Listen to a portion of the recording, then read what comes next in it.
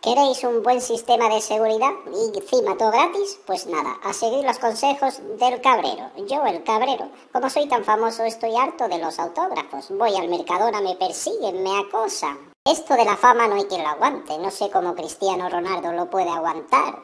Mis vecinos están hartos. Vivo en una urbanización y no paran de entrar y robarnos. Hemos puesto hasta un guarda de seguridad. Mi mujer, cuando va al Mercadona, debe de traer el carro lleno de comida, lo trae lleno de libretas y papeles para que les firmen autógrafos. Estoy ya hasta las narices, voy a tener que hacer algo. Ya ves tú, el otro día estaba cagando y me tocan por la ventana para que le firmara un autógrafo. No me dejan ni cagar, estoy desesperado. Entonces, he cogido y he actuado radicalmente. La Vin con dos cojones. He cogido y he desactivado mi servicio de alarma he desconectado las cámaras de vigilancia que había en la casa y he dejado de pagar el segurata que había en la puerta, la urbanización, la comunidad, todo. Y por si faltaba poco, en el jardín de mi casa he colgado tres banderas. Una bandera de Afganistán, otra de Pakistán y otra negra del Estado Islámico, este que está de moda. Y he puesto una alfombrilla en la entrada de mi casa que pone Bienvenido a la República Independiente del Cabrero.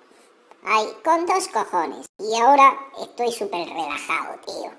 Ya ves tú, somos vigilados por la policía local, por la policía nacional, por la policía de la República Independiente de Andalucía Oriental, por la chancha, hasta por los mozos de escuadra. Me han mandado mozos de escuadra aquí. CNI, la Interpol, todos esos que hay. Las 24 horas, los 7 días de la semana y los 365 días del año. Estamos vigilados, súper relajados, tío. ¿Qué cojones tiene el cabrero? Ya ves tú, hasta mi hija Raquel es vigilada cuando viene y va del instituto. Había un niño por ahí detrás de ella dándole la lata, ya ni se acerca. Esto es maravilloso. Y mi mujer cuando va al Mercadona ya viene con la comida, totalmente relajada. Ya me sentí tan protegido. Y cuando yo voy y vengo del trabajo, de las cabras del campo, pues nada, no me persigue nadie. Esto es maravilloso y encima todo gratis. ¡Ay!